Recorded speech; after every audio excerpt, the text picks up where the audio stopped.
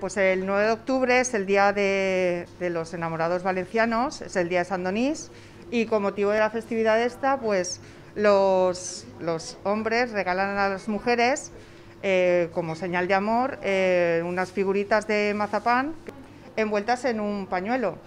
Entonces, eh, esta simbología, eh, en las mujeres, cuantos más pañuelos tenían, se suponía que más le quería el, marido. Eh, el mazapán es casi, casi almendra pura, con azúcar y nada, una, un dulce muy, muy apetecible.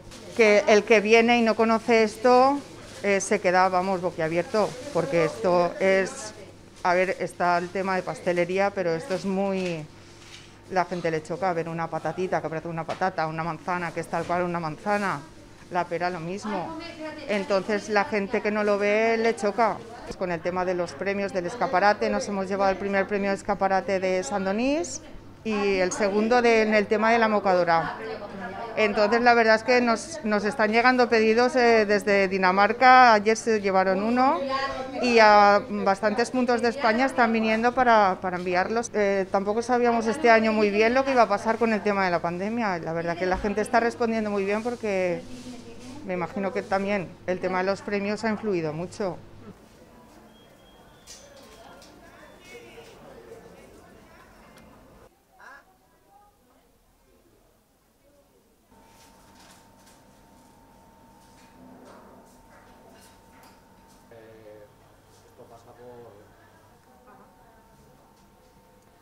manzanas, se le, dará, se le pondrá un rabito.